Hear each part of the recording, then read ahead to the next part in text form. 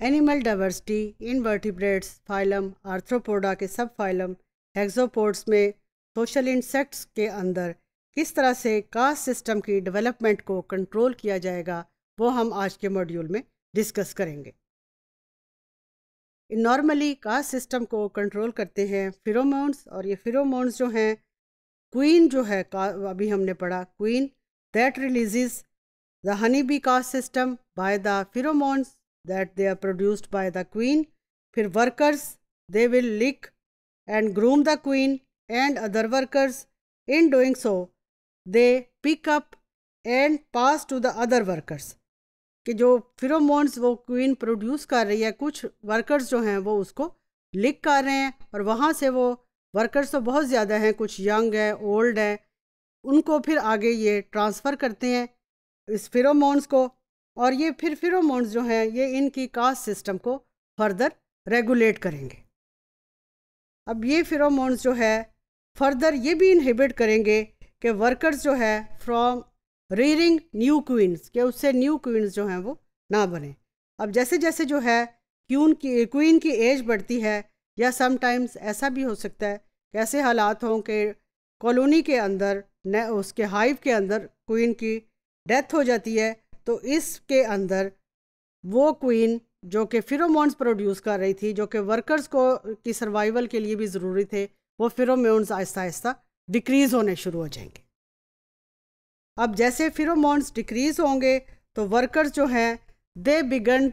to eat the food of are the queen अब वो जो हाइव के अंदर रॉयल जेली है, उसको अब ये वर्कर्स फ़ीड करना शुरू कर देंगे। To several female larvae developing in the hive अब ये फ़ूड जो उसको हम रॉयल जेली कहते हैं this is very important very nutritive इसके अंदर कुछ ऐसे केमिकल्स हैं जो कि फर्दर वर्कर्स के अंदर क्वीन के करेक्टरिस्टिक्स को प्रमोट करते हैं। अब वो larvae that receive the royal जो कि रॉयल जेली को खा रहे हैं they will develop into queen और जैसे ही ये अमर्ज करेंगे जो new queens they begin to eliminate each other and only one queen will survive. That queen that survives she will go for the next process of mating and mating ke liye she may leave the nest then she may come back and after mating she produces eggs and can survive for several years inside the hive. This is the control of honeybee caste system. Normally, the main component that controls its caste system is the royal jelly. Royal jelly is the diet. अब यहाँ पे अगर हम देखें ये royal jelly और this royal jelly this is the worker jelly this is the royal jelly this royal jelly is given to the जब development में royal jelly different larval stages में दी जाएगी तो वर्कर जेली जब दी जाएगी तो इस From this figure it is quite evident that royal jelly shows faster development as compared to that of the worker jelly. It is showing its uh, development in 13 days and it is showing its development in 18 days. और वो कास जो workers royal jelly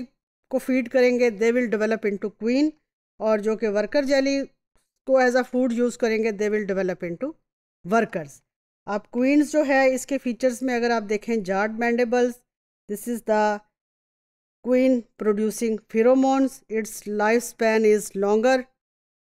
normally more than two years इसमें स्वर्मथिका भी हैं active ovaries हैं बारब्लस stings हैं। वो जो, अगर आप कभी हनी बी की क्वीन को हाइव में देख लें तो this are the stings that will be produced by this queen and it is quite painful to the human being if she gives it string to the human skin